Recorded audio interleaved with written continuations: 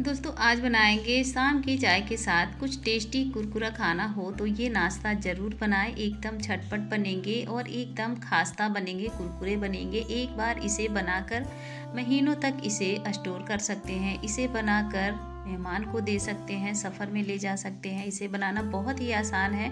तो चलिए इसे एक बार क्यों ना बनाया जाए। रेसिपी शुरू करने से पहले आप सभी को मेरा नमस्कार। मेरी रेसिपी अच्छी लगे तो प्लीज़ लाइक करें। चैनल पे नए हैं तो चैनल को सब्सक्राइब करें। बेल आइकन को ज़रूर दबाएँ। इस टेस्टी कुरकुरा नाश्ता को बनाएँगे मैदे से। इसे चाहे तो गेहूँ के आटे से भी बना सकते हैं। तो यहाँ पर 500 ग्राम मैदा लिए हैं। इसमें डालेंगे आधा चम्मच अजवाइन, आधा चम्मच कलौजी स्वाद अनुसार इसमें नमक डालेंगे। तो नमक अपने स्वाद अनुसार कम ज़्यादा कर सकते हैं।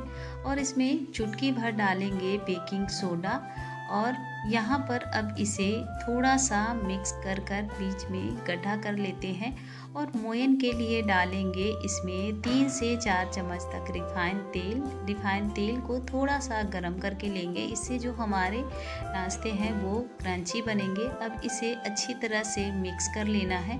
तो 500 ग्राम मैदे में चार से पाँच चम्मच अगर रिफाइंड तेल डालेंगे तो ये एकदम अच्छी तरह से मोयन हो जाएँगे और यहाँ पर दो से तीन मिनट तक मसल मसल कर मिक्स कर लेना है। इसे मिक्स कर लिए हैं, अब इसमें पानी डालकर इसे गूँथ लेना है। तो जब इसे गूँथेंगे तो थोड़ा सा हार्ड ही गूँथेंगे, एक बार में ज़्यादा पानी नहीं डालेंगे। बीच बीच में थोड़ा थोड़ा पानी डालकर एक बार में ज़्यादा पानी नहीं डालेंगे थोड़ा थोड़ा पानी डालकर हल्के से बिखेर बिखेर कर, हल्के हल्के मसल मसल कर इसे गूँथ लेंगे। तो यहाँ पर देखिए, दोबारा से पानी डालकर इसे गूँथ लेंगे। यहाँ पर एक सख्त डो की तरह इसे गूँथ लेना है। ज़्यादा सॉफ्ट नहीं गूँथने हैं। तो डो तैयार है। अब इसमें से थोड़ी सी बड़ी लोई ले लेते हैं, जिस साइज़ में रोटी बनाते हैं, उस साइज़ से थोड़ी सी बड़ी लेंगे। तो यहाँ पर इसे हाथों में रख कर इसे गोल कर कर, इसे हल्का सा चपटा कर लेंगे। तो यहाँ पर देखिए, इस तरह से लोई बना लेने हैं। इसी तरीके से सभी को बना लेंगे। यहाँ पर किचन स्लिप पे इसे बेल लेंगे या फिर इसे चकले पे भी बना सकते हैं। और यहाँ पर इसे हल्के हल्के इसे जितना पतला बना सके, उतना पतला इसे बेल लेना है। यहाँ पर इसे बड़ी रोटी की तरह बेल लिए हैं और एकदम पतला ही बेले हैं।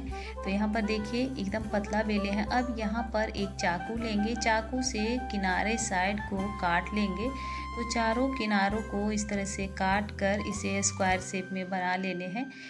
चारों किनारों को काट लिए हैं। अब जो एक्स्ट्रा आटा है, उसे हटा लेंगे और इसे दूसरी लोई में डालकर इसे बेल लेना है। अब यहाँ पर चाकू से इसके पीसेस बनाएँगे। तो यहाँ पर डेढ़ या दो इंची के इसके स्पेस रखेंगे, दूरी रखेंगे।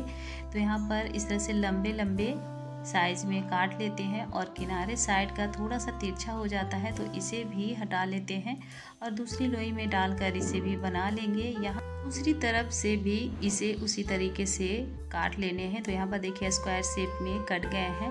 तो यहाँ पर एक पीस हाथों में इस तरह से रख लेंगे। अब इसके डिज़ाइन बनाने हैं। तो यहाँ पर थोड़ा सा कोना में लगा देते हैं पानी और हल्के से इसे दबाएँगे और दूसरी तरफ़ जो कोना है उसे अपोजिट साइड में इस तरह से इसमें उंगली डालकर इसे भी मोड़ लेंगे। तो इसे हल्के से दबा लेंगे, कस के दबाएँगे ताकि ये खुले ना। और यहाँ पर हल्के से दबा कर इसे घुमा लेंगे थोड़ा सा इसे लंबा कर लेंगे। तो यहाँ पर देखिए एकदम सुंदर डिज़ाइन बनकर तैयार है। इसी तरीके से जितने भी इसमें पीस बनेंगे, सभी को इसी तरीके से बना लेने हैं। तो देखिए डिज़ाइन बनाना कितना आसान है। पहले सभी किनारों में पानी लगा लेंगे और यहाँ पर एक किनारों को ट्रायंगल शेप में दबा लेने हैं और दूसरे को भी अपोजिट साइड में मोड़ देंगे तो इसी तरीके से बना लेंगे। तो सभी को इसी तरीके से बनाकर तैयार कर लेंगे। अब इसे फ्राई करने के लिए गैस पे कढ़ाई चढ़ाएँगे, उसमें तेल डालेंगे। तेल गर्म होने के बाद इन पीसेस को डालेंगे। एक बार में ज़्यादा नहीं डालेंगे और इसे मीडियम फ्लेम पे फ्राई करेंगे। सुनहरा कलर होने तक और इसे उलट पुलट करके इस तरह से चलाते रहेंगे। तीन से चार मिनट लगते हैं इसे फ्राई होने में। तो उलट पुलट करके सुनहरा कलर होने तक फ्राई करेंगे। सुनहरा कलर हो गया है। तो इसे झंझरे से थोड़ा सा तिरछा करके निकाल लेंगे और एकदम देखिए कुरकुरे बने हैं। इसे प्लेट में निकाल लेंगे। बाकी बचे हुए पीसेस को इसी तरीके से फ्राई कर लेना है।